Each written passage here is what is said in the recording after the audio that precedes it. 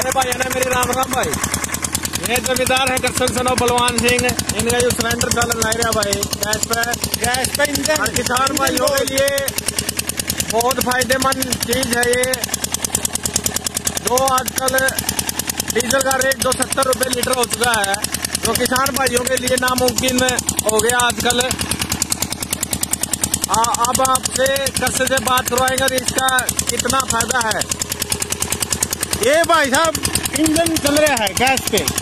इसमें एक सिलेंडर में तीस घंटे इंजन चलेगा। पूरा तीस घंटे से ज़्यादा चल सकता है। मेरा कुआ चालीस फुट डूँगा है।